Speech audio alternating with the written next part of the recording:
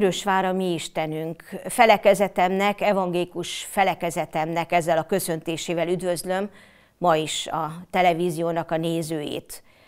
Hadd olvassam föl azt az igét, amelyet a mai napra választottam. János első levelének harmadik fejezetében az első vers így hangzik. Lássátok meg, milyen nagy szeretetet tanúsított irántunk az Atya. Isten gyermekeinek neveznek minket, és azok is vagyunk – Azért nem ismer minket a világ, mert nem ismerte meg őt. Ezen a héten Isten szeretetéről szólok a csendes perceknek a magyarázataiban, de nem csupán Isten igéjének a segítségül hívásával, hanem felhívja a figyelmet arra, hogy mi hogyan valljuk meg a hitünket – a tradicionális történelmi egyházak, különösen az apostoli hitvallás és a nicai hitvallásnak a tanítását, illetve a vallomását szeretik az alkalmaikon, az istentiszteleteiken elmondani. Az első hitágazatban a Teremtő Istenről, az Atyáról hangzik mindig a szó, ami vallomásunk, arról a szeretetről, hogy az Isten megteremtette ezt a világot, és nem fordult el tőle. Most viszont Jézusra utalt a felolvasott ige is, hiszen Isten gyermekei Jézusban lehettünk. Abban a Jézusban, aki eljött a világba, aki be, belealázkodott a mi emberi voltunkba.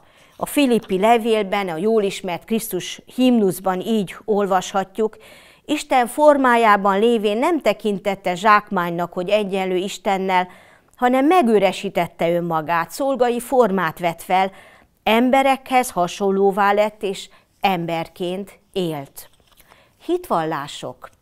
Bizony a nicai hitvallás éppen azért jött létre, mert egy olyan társaság, egy olyan csoport, amelyik tévtanokat kezdett hirdetni, Jézusnak az isteni voltát tagadta meg.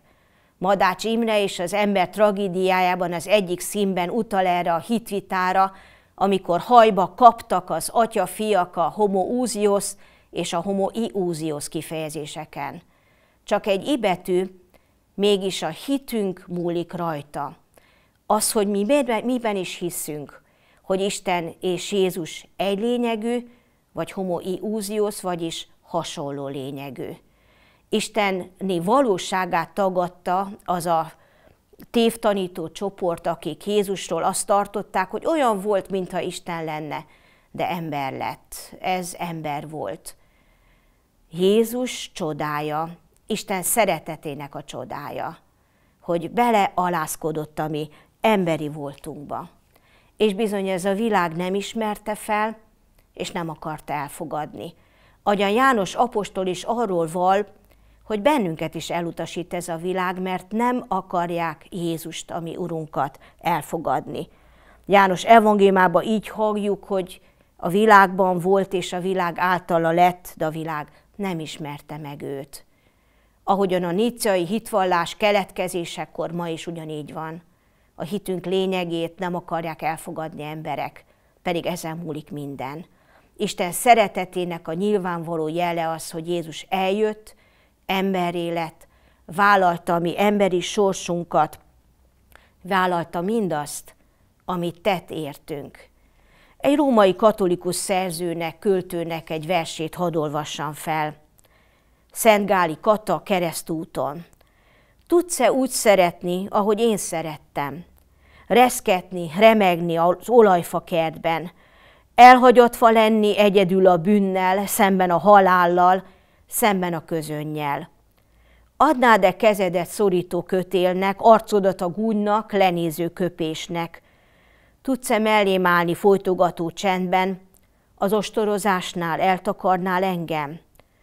Tudsz-e úgy szeretni, ahogy én szeretlek? Tudsz-e tűrni értem, hordani keresztet? Roskadozva, remegve, föl egész a célig, akkor is, ha szíved ezer sebből vérzik. Tudsz-e mellém hágni, a helyembe lépni?